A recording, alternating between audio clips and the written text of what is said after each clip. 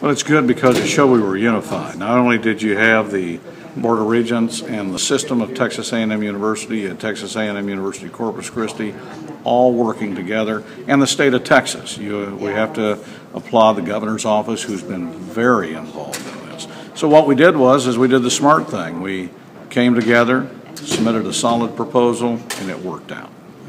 What do you hope comes from this in like the next couple of years? I hope in the next couple of years we bring attention to the coastal bend area, that we have a diverse economy. And this, I also hope, brings in kind of what I call science technology jobs. Because when you have a program like this, you bring in all sorts of technological jobs that might be in other parts of the country that we can bring here.